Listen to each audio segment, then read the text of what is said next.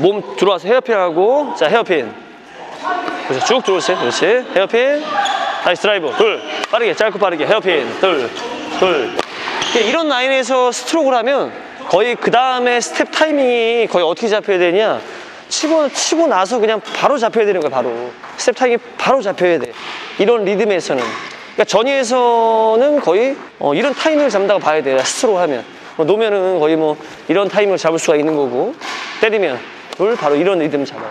대신에 스텝 타이밍을 바로 잡, 잡기 때문에 타이밍은 유지가 되지만 뭘 손해봐요? 리턴하는 거리를 손해보죠. 어, 이렇게 치고 이렇게 리턴하면 어떻게 돼?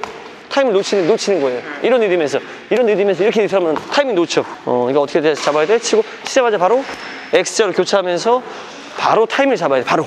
대신에 뭘 손해봐?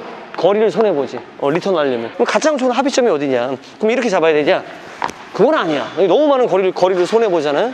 그럼 어느 정도 다 적당해. 오른발 떨어진 위치. 오른발 떨어진 위치 그 위치. 그 정도에서 그냥 교차점을 만들어주면서 턴하는 게 거리 손해를 최소화할 수 있어. 때리자마자 톡 톡 이런 느낌으로죠? 톡 바로. 어, 오른발 또는 오른발보다 살짝 바깥쪽. 어, 이 축이 이 왼발이 빠지면서 잡으면 안 된다 이거예요. 음, 바로 X로 교차가 되면서 어, 톡 바로. 그렇지 뭐 이런 느낌. 톡톡 바로. 어. 좀 여유 있으면 바로 들어오면서 리듬 그러니까 후위에서는 이런 리듬이 많이 나올까 안 나올까요? 후에 나와요. 최공 시간이 멀잖아요. 어, 웬만하면 많이 나오진 않죠. 어, 치, 치고, 치, 치고 거의, 거의 드, 이, 들어가는 리듬은 나오지. 시간 여유가 좀 있으니까. 어, 전위에서는 시간 여유, 여유 가 없어서 스트로크를 하면은 그 다음 상대방한테 내 셔틀콕이 도달하는 시간이 빠르기 때문에 스텝 타이밍을 잡는 게 내 리턴 시간보다 내가 전달되는 시간이 더 상대방한테 빠르다 늦다 빠르다. 내 리턴 시간보다 빠르다 그러니까 내 리턴 시간을 다 확보해가면서 타이밍을 잡으면 타이밍을 놓칠 확률이 굉장히 높겠죠. 어. 둘, 또 바로 그렇지.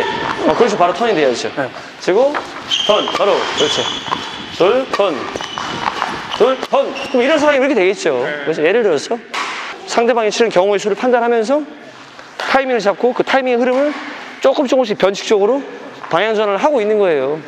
뭐 그렇게 해서 이제 판단해서 하면 되는 거고 어쨌든 중요한 그 시점, 그 시점이 중요한 거라고 시점, 시점, 타이밍. 그렇지. 둘, 둘, 둘, 셋, 바로, 둘, 셋. 턴. 전위에서는 이런 리듬이 연습이 많이 돼 있어요. 때리면 바로 타임. 때리면 바로 타임. 클리어 치면, 클리어 치면, 어, 늦춰서 타임. 그지? 언더하면, 늦춰서 타임. 전위에서 때리면, 바로 타이밍. 후위에서 치면, 리, 리턴 하면서 타이밍. 리턴 하면서 타이밍. 이런 게 아예 그냥 딱 그냥 몸에 아예 습관처럼 이미 돼 있어야 된다는 거지. 자, 수고하셨어요. 좋습니다. 반갑습니다.